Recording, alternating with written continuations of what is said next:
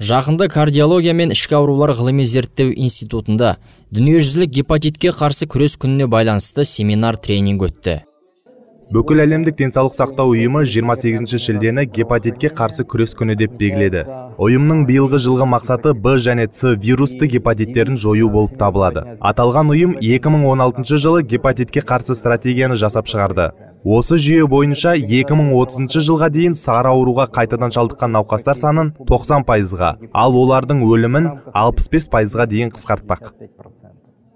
Вирусты гепатит негізінен бауырдың зақымдалуымен сипатталатын әлемде кең тараған жұқпалы аурулардың түрі. Ел ішінде сары ауру деген атпен таралған.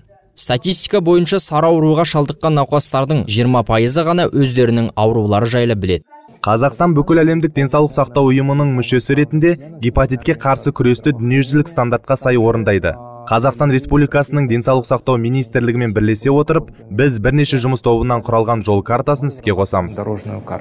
Бұл жобаның басты мақсаты вирусты гепатиттің алдын алу шараларын тұрақты түрде жүргізу және тұрғындарды алдын ала тексерістен өткізу.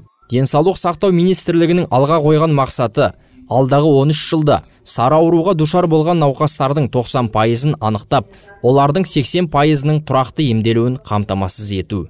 2011 жылдан бастап біздің мемлекетіміз тегін вирусқа қарсы емді біздің науқастарға беріледі. Ем алып жатқан науқастардың саны көбейіп көбейіп жатыр. Және вирусқа қарсы емге бөлінген қаржы да жылдан жылға көбейіп жатыр. Вирусты гепатит жұқпалы ауру. Дәрігерлердің айтуынша бұл індеттің негізгі ошақ көзі сән салондары гигиена сақталмаған асханалар және қанмен байланысты кез келген жағдайлар болып табылады.